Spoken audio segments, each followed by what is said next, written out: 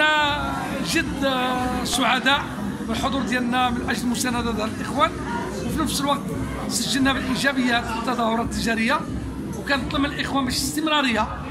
واخا اليوم لأنه كيتصادف واحد الوقت اللي هو شوية التجاره شوية لا بغيت نقول ناعسه شوية ولكن أكيد العرائش هي من بين المدن اللي كتحظى بالزياره ديال السياح معروفة بواحد العدد المواقع الأثرية كاليكسوس وإلى غير ذلك. اذا أكيد هذا المكان وأماكن أخرى اللي ولات الواجهه هذه المهنة ديال التجارة والصناعة التقليديه نتمنى من الإخوان يتردوا ويزوروا هذه الأماكن حتى تصبح قبلة للسياح وقبلة للزيارة ديال السياحة الداخلية كذلك لأن العرائش محبوبه عند المغاربة كلهم. حكم مدينة لها مؤهلات وإقليم له مؤهلات بامتياز مؤهلات غابويه بحريه آه، فلاحيه صناعية هي لا بغيت تقول شاطئيه بالامتياز منطقة سياحية بالامتياز ومعروفة. عالميا أكيد غادي تعرف واحد التحول تجاري في السنوات المقبله ونتمنى الإخوان التيسير والتوفيق وأعانكم الله. شكرا جزيلا بالنسبة للسطوح اللي كان منطقه الزنجو هنا اللي كنا صغار كنعرفوا بان هنا كانوا طلبة ويعني وصلوا واحد المراتب عليا في الدولة. مثلا كان هذيك الضحك شحال هنايا كان كيلقاو هنا.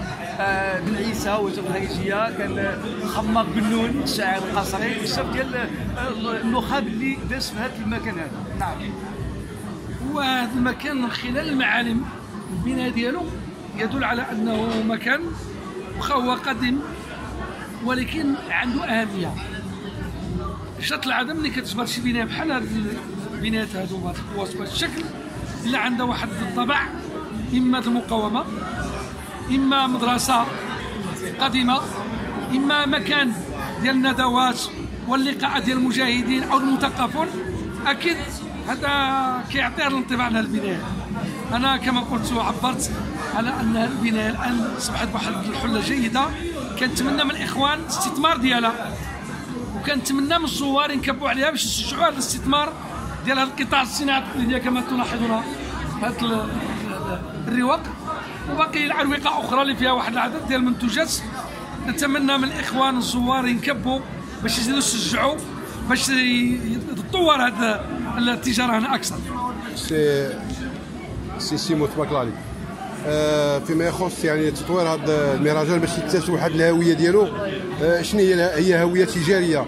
ولكن حنا كنعرفوا آه، بدوركم يعني باعتباركم يعني عضو في الغرفة.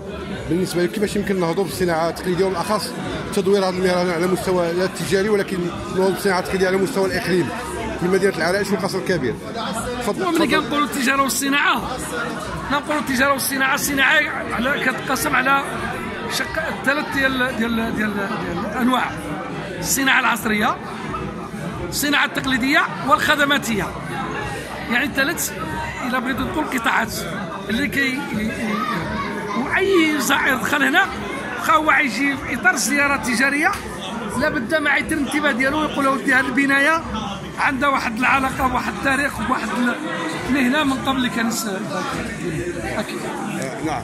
وبالنسبة فيما يخص آه، يعني التنظيم تدوير التنظيم على مستوى الإقليم ما بين مدينة العرائش والقصر الكبير. أكيد اليوم إحنا كمجالس منتخبه غادي نشاركوا مع الغرف الصناعة التقليدية.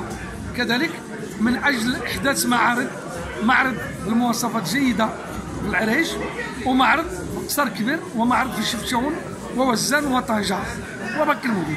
ولكن القصر كبير والعرائش أكيد غادي يكونوا جوج معارض على حسب ما قال لي زميلي أحد الأعضاء غرفة آه، الصناعة التقليدية. نعم. وما ما هو تقييمكم لهذه الدورة الأولى؟ وكيف يمكن النهوض يعني يعني بهذا المران التطوير ديالو في المستقبل؟ أنا قلت ودي خصنا إحنا نتردوا على هذا المكان كثير. وكنقول للإخوان يصبروا شوية لأنه جاب واحد الظرفيه شوية التجارة راجعة شوية. وأكيد في الشهور المقبلة غادي تطور وعاد تحسن الأمور أكيد. إن شاء الله. شكرا. نعم،